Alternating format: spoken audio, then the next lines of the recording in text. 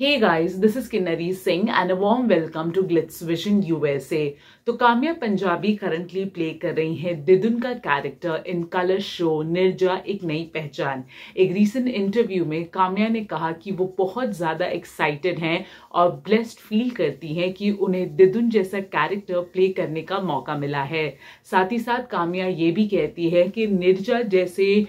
Show का हिस्सा बनना, ये अपने आप में एक बहुत बड़ी बात है। क्योंकि ये शो एक ऐसे स्टिग्मा एक ऐसे स्टीरियोटाइप को एड्रेस कर रहा है जो टेलीविज़न में बहुत ही कम बार ऐसे इश्यूज़ को एड्रेस किया गया है। वेल अगर हम बात करें निर्जा की तो ये स्टोरी है निर्जा की और उसके माँ की, जहाँ उसकी माँ चाहती है कि निर्जा की भी वही किस्मत ना हो जो उसकी हुई और दिदुन जो है वो पूरी कोशिश में लगी है कि एक बार नीरजा जो है एक स्पेसिफिक एज तक पहुँच जाए तो वो उसको उसी दुनिया में लेके जाना चाहती है जिस दुनिया से दिदुन बिलोंग करती है निर्जा की माँ बिलोंग करती है अब देखना ये है कि ये सब में कौन सक्सेसफुल हो पाएगा वेल आप हमें ज़रूर बताइए कि uh, क्या व्यूज़ है काम्या पंजाबी के पोर्ट्रेयल पे of Didun in the comment section below. And for more such updates, do subscribe to Glitz Vision USA. Hi, this is Ashi Singh and you're watching me on Glitz Vision USA.